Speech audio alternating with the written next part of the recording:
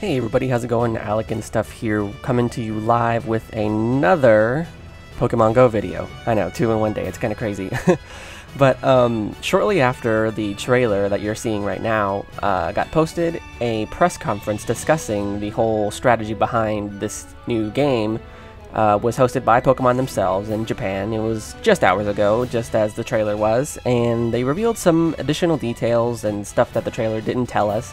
Um, the trailer didn't tell us much to begin with, but we're going to go over some of the details that were in that press conference. So, uh, first off, the trailer uh, showcased that this is a game, a virtual rea- like almost a virtual reality game, but it's more of an AR game, which is, you know, uh, I forget the word, but it's it's it's not virtual reality, but I assume you're going to be looking through your phone to see the reality that they want you to see. So, um, it's an AR game. It's coming to Apple, iPhone, and Android devices, and it's going to be free to play, but also offers in-app purchases. So, um, some of the details that were discussed during the press conference. Number one was the new project is in conjunction with Nintendo. Um, I, th- I thought that was pretty much assumed, but you know, I guess they just had to clarify for people that thought otherwise. Um, it utilizes smartphones and seems to feature capturing and battling a Pokemon. You know, that was pretty obvious from the trailer. The project is called Pokemon Go, will be released on an iOS and Android devices in 2016 in collaboration with Niantic, a startup from Google that became independent.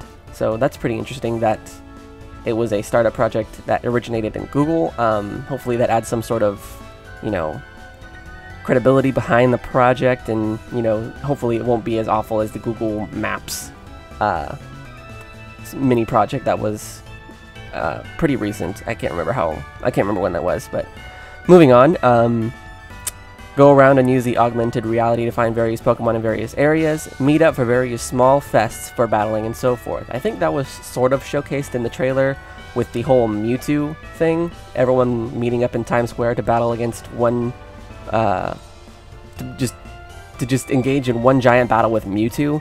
Um, I think that has a lot of potential. You know, showing the like getting a small community together and bringing people together like that. I think it has I think it has some some potential. It has some.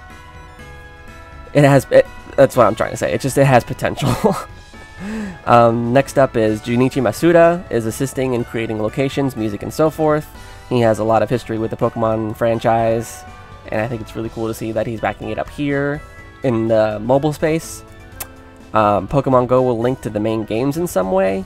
Uh, if you were asking me, and what my thoughts on that would be, it would probably be like you catch Pokemon and we're able to transfer them to the upcoming, uh, as of now, unannounced Pokemon games in some way. Um, also, Pokemon Go comes with a device that you can attach to your wrist.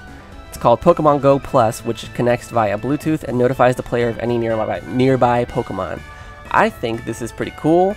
Um, the little wristband was shown just for a couple seconds in the trailer, and um, uh, what we know so far about that is it uh, it's basically a wristband and it's got a little Pokeball symbol and it looks like a pinpoint that you would drop on like a like a GPS map or something similar.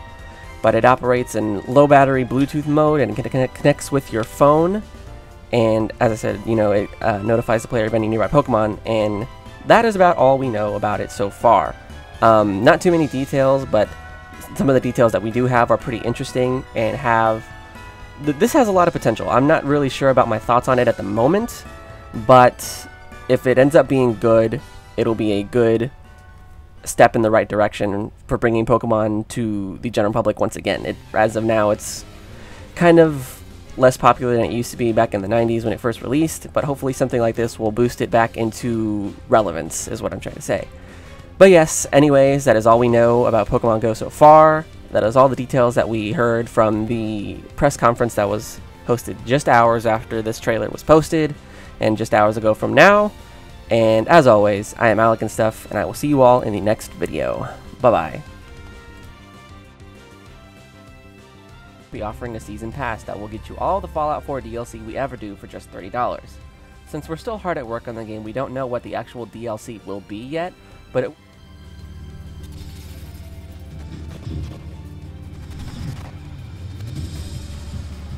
Oh my god.